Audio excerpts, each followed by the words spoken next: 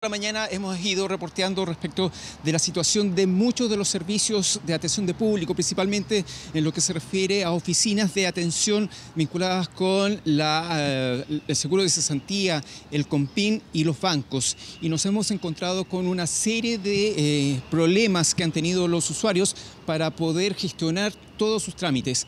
Inicialmente comenzamos nuestro eh, trabajo en la administradora de fondos de cesantía, los cuales han tenido muchos inconvenientes, largas filas. Escuchemos, pasamos a ver qué es lo que nos dijeron los usuarios respecto de esta situación.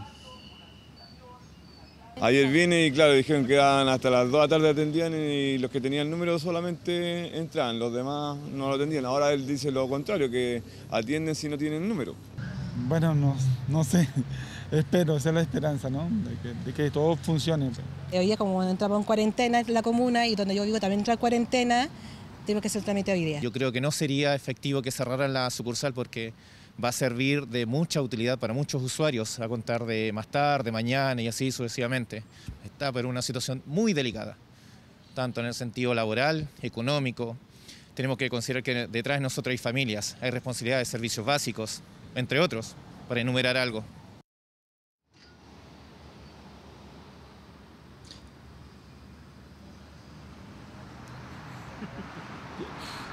Responsabilidad de los servicios básicos es lo que muchos de los usuarios reclaman. Em, desde la, de la administradora de fondos de, cesantía nos informaron que eh, próximamente, tal vez la próxima semana, ya todo el sistema o trámite se podrá hacer vía internet. Algo similar ocurrió esta mañana en los compines, principalmente de Santiago.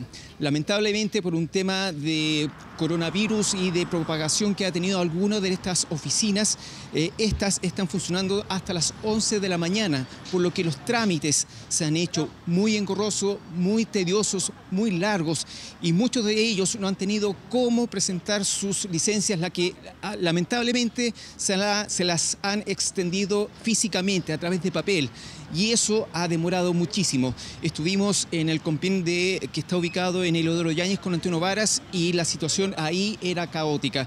Escuchemos qué es lo que nos dijeron ellos. Si hubiese una página buena para enviar las cosas por internet, sería obviamente mucho más fácil, no tendríamos que salir de la casa ni exponernos a, a ningún contagio, ni tampoco exponer a las demás personas. Ahora que tenemos que esperar, tengo el número 115, aproximadamente, claro, de 10 personas hay, que, hay que tener paciencia, nada más. Vine ayer y no me atendieron porque están atendiendo solamente hasta las 11 y no había información. Entonces me dijeron que viniera hoy día y vine hoy día, porque este es el comping que me corresponde y estoy en el plazo fatal, último día. Teniendo licencia electrónica, traté de hacerlo por internet y no se pudo. Tener que venir aquí nomás y que es el último día. Y no puede pasar que pase algo y, el sistema colapse. Tenemos que estar preparados para las, para las grandes cosas.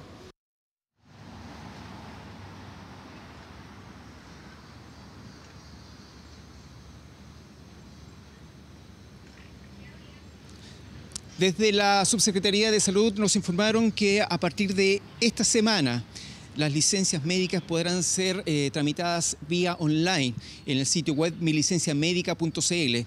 A través de este sitio web, todas las personas que tengan licencia podrán eh, ahorrarse el trámite de ir hasta las sucursales para poder eh, tramitar este beneficio. Donde hay más conflictos es en, en el sector de los bancos. Muchos bancos han cerrado muchas de las sucursales en muchos sectores y eso ha concentrado la gente en algunas sucursales, las que han tenido una larga fila para trámites que muchos de ellos reclaman que se pudieran haber hecho de manera más fácil. También hay un, serio reclamo respecto de los call centers y de las plataformas digitales de los bancos, las cuales no estarían dando abasto para atender la cantidad de reclamos. Uno de los casos que nosotros hemos podido reportear son aquellas personas que han debido hacer el trámite para postergar el pago. Sin embargo, a través de internet o teléfono, este trámite se ha hecho, se ha hecho imposible. Escuchemos qué más nos dijeron. De hecho, ya el sistema colapsó hace una semana porque yo estoy hace una semana tratando de hacer el trámite y hoy día ya no me quedó otra que venir presencialmente. Tienen habilitadas dos sucursales solamente en el centro y en vez de tener una caja buzón donde muchos podríamos hacer el depósito por sobre, nos tienen en la fila, donde obviamente hay más riesgo de contagio. Haciendo una fila hace más de dos horas y media. Dos horas. Aquí parado, para que nos puedan atender los ejecutivos. Llega y el guardia está ahí y llega y deja pasar a gente que se pone aquí antes que nosotros. Eh, yo estoy obligado como empresa a hacerlo acá en el Banco Itaú y solamente hay un solo banco en Santiago que es el Banco Itaú y estamos obligados a estar acá. ¿Hay poco personal en los bancos? Dos cajas.